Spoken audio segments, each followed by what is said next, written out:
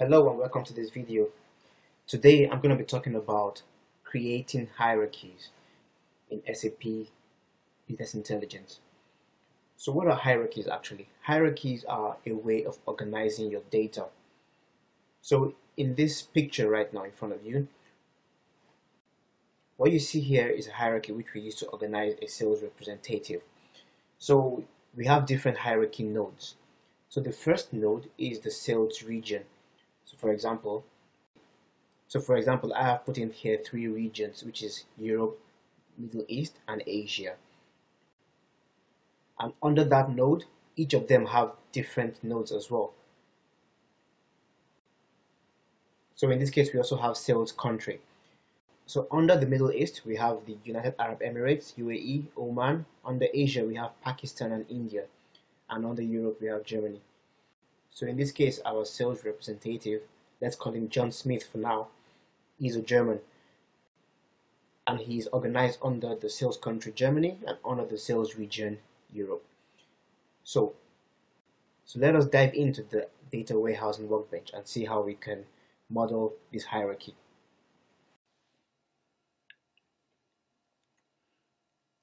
So here we are at the data warehousing workbench. I have already created a couple of info objects to, to start up. So we have the sales rep ID, the sales country, sales region, and this is the sales representative actually. This is going to be the one that comes with the hierarchy. So to create a hierarchy for the sales representative, what we have to do is first of all specify what info objects will be used in that hierarchy. So in this case, our info objects will be the sales country, the sales region, and the sales rep ID. So these are all the nodes that will show up in the hierarchy. They are also info objects. So to, do that, you will right click on the info object and click on change. So on the when you click on that on the left on the right hand side you will see the properties of the info object. So this has a long description, sales rep with hierarchy. It's a it's an info object of type character with 20 characters of which is 20 characters long. So here if you look on the so here we have a hierarchy tab.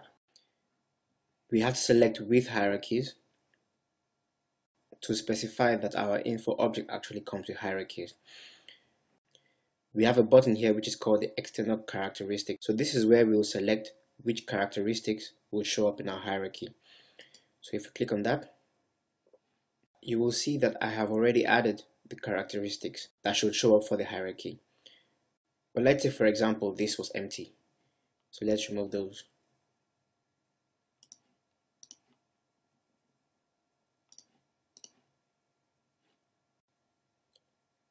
So you would need to select your info objects. On the left hand side, we have all the info objects which are present in the system. There are actually a lot of them. So for now, let us search for the info objects which we're looking for. So the first one is the sales representative ID. So the name of that is the sales RP. Click on continue.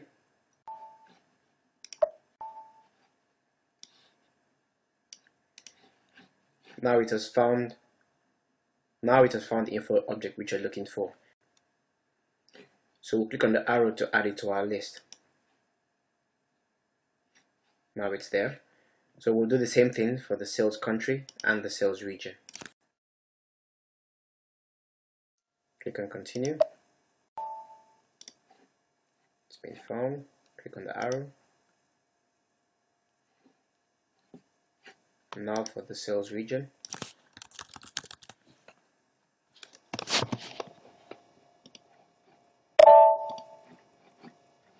Click on the arrow.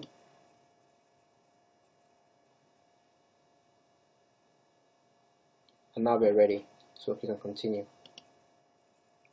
So all the info objects which we need for the hierarchies, namely the sales country, sales region, and the sales representative are now are now present in our hierarchy. So the next step is actually to go and input some data which will show up in our hierarchy. So we'll see that in the next video. But before we do that, we have to save our changes. So we click on check and activate. So now our info object is active. So the next step is actually to put in some data which will show up in our hierarchy. So in the next video which I'll be making, I will show you how this is done. So for now, thank you for listening. See you in the next video. So welcome back. So in the previous videos, we created three info objects and the fourth one which will represent a hierarchy. And we also added the hierarchies and we also added the info objects which will show up in the hierarchies. So now we're going into the real deal, actually creating the hierarchy. So we select our info object and right click and select create hierarchy. So let's give that a name So we click on OK, continue. Now on the so now on the right hand side we have so now on the right hand side everything looks empty. But then now we can add our info objects to actually create the hierarchy which we want. So if you right click here, anywhere here, and select insert characteristic. So now we will actually add our top hierarchy nodes. Our top node is the sales region. So now we're going to add that node. The info object sales region had a technical name Z sales region. So now we're going to search for that.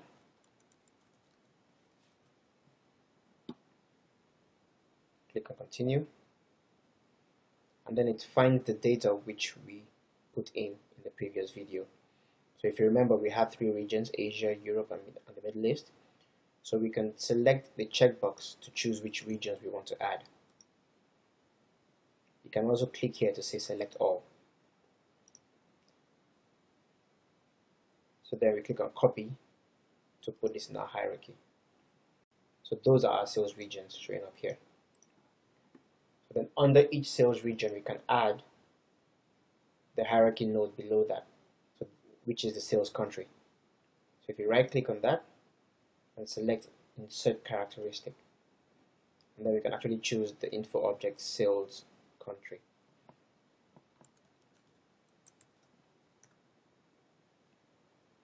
So here are the countries which we chose. So we can select them and copy that into our hierarchy. And then we have all five countries in here. But, but now we want to rearrange the countries on the, the correct hierarchy nodes. So we can now, so we can now drag and drop the countries. So if we select Germany and drag that to Europe, now it's under Europe. You can do that for the Middle East as well.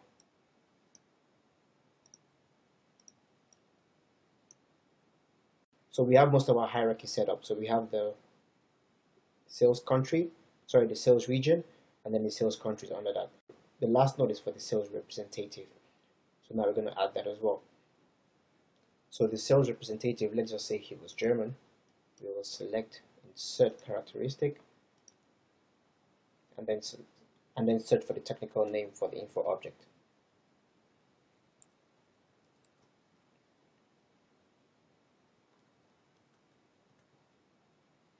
So that's John Smith. Copy that and then we are done. So this is our hierarchy setup. The picture which we wanted to model was this.